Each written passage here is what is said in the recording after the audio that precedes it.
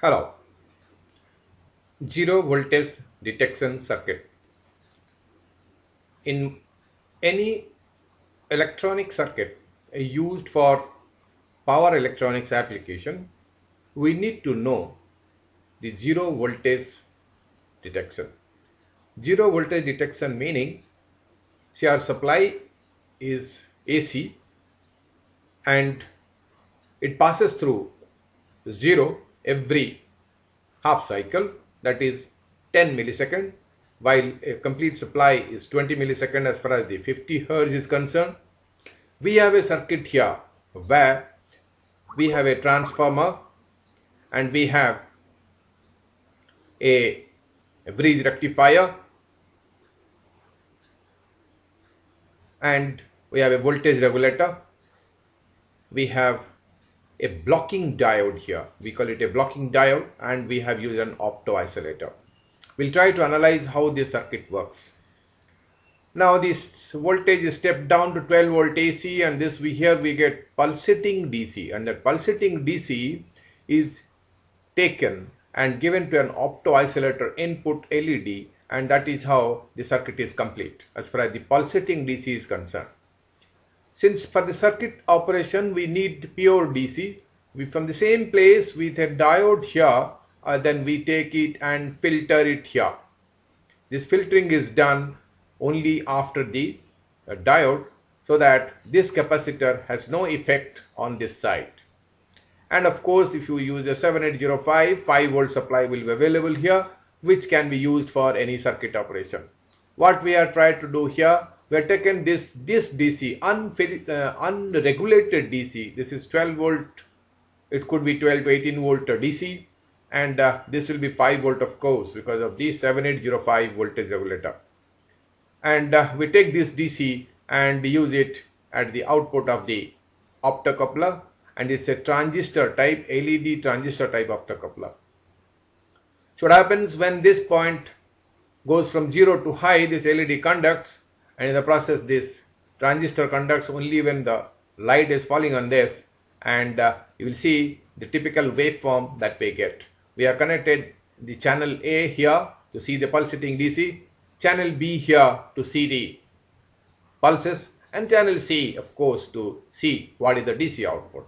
We'll now go over to the operation of this and we find here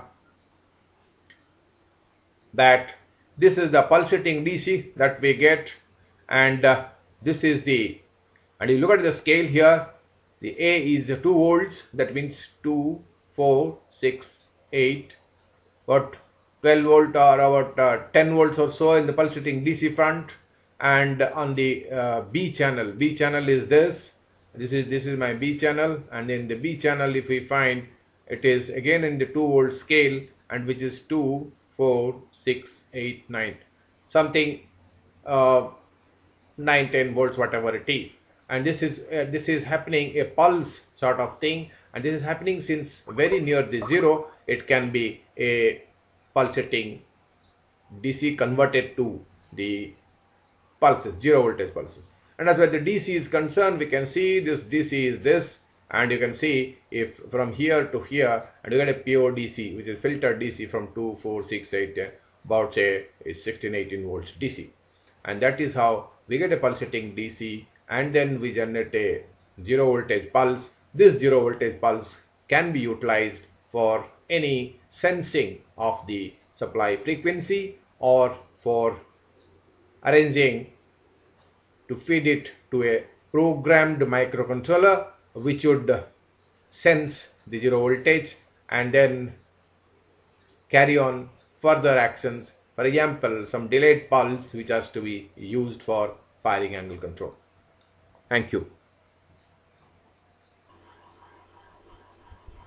And in the event of feeding the output that is from this point to a 5 volt logic circuit, for example, a microcontroller, it is necessary that this point is not given to through the register to 12 volt but it is given to the 5 volt. This is a 7805 regulator and then we get 5 volt here and to the 5 volt it goes. So that when we operate this, we get zero voltage pulses of 5 volt nature. This is in the 2 volt scale. So 2 to 4 plus 1. So you get 5 volt zero voltage pulses as against a pulsating DC which could be of many higher voltage. For example, here the pulsating the scale is 2 here and we have 2, 4, 6, 8 and about 10 to 12 volts.